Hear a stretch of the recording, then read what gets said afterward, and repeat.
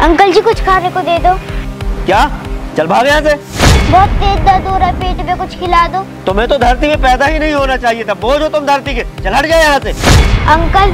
दुलहट दुलहट सुने नहीं सुने नहीं। अंकल जी कुछ खिला दो। चल हट यहाँ से। काम धंधा कुछ करते नहीं। फ्री का मांग कर खाने की आदत पड़ गई है तुम लोगों को।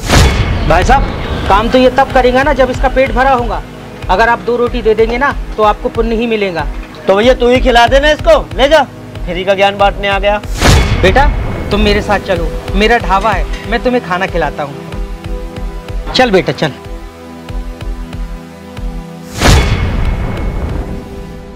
ये ले बेटा पेट भर की खाना। और कोई चीज़ की ज़रूरत हो तो मुझे बताना। ठीक है अंकल।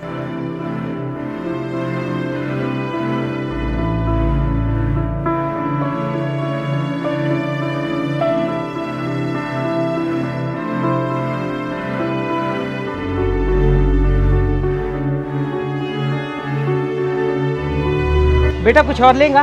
नहीं अंकल जी पेट भर गया। बेटा कभी भी भूख लगे ना तो मेरे ढाबे पे आ जाया करना। तुझसे मिलकर ऐसा लगता है कि शायद मैंने कुछ पुण्य कमा लिया। ठीक है अंकल अब मैं चलता हूँ। ठीक है बेटा।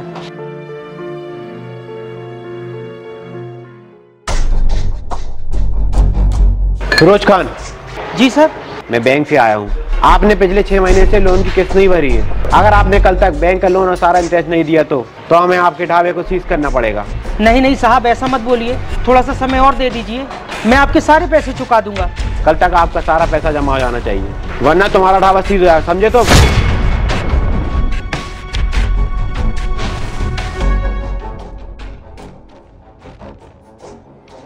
तुम्हारा ढाबा सीज हो चुका है। इसमें मैं कुछ नहीं कर सकता।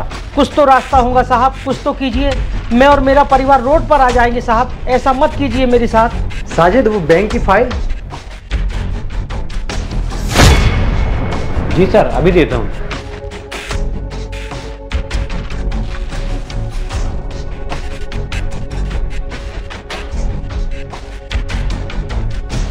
भाईजान आप यहाँ?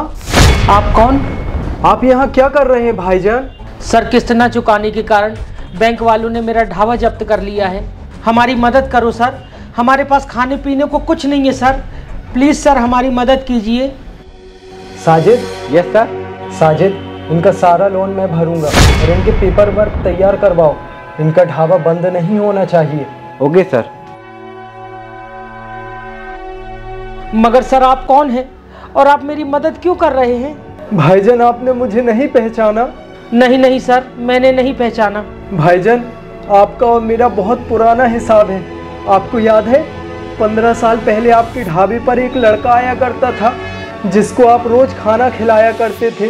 भाईजान, आप याद करिए, मैं वही लड़का, सुहेल हूँ, जिसको आपने सीख दी थी कि बेटा, ज़िंदगी में कैसा भी वक्त आ जाए, लेकिन कभी हार मत मानना। आज आपकी सीख की वजह से ही मैं यहाँ तक पहुँचा हूँ। मैं इस बैंक का ओनर हूँ। भाईजान आज मैं जो कुछ भी हूँ मैं आपकी वजह से हूँ। थैंक यू भाईजान। आपने मुझे सही रास्ते पर डाला। तभी मैं इस काबिल बना हूँ कि मैं आपका पंद्रह साल पुराना हिसाब चुका सकूँ। बहुत बहुत शुक्रिया भाई। शुक्रिया तो मुझे करना चाहिए आपका कि मुझे आपने इस काबिल बनाया।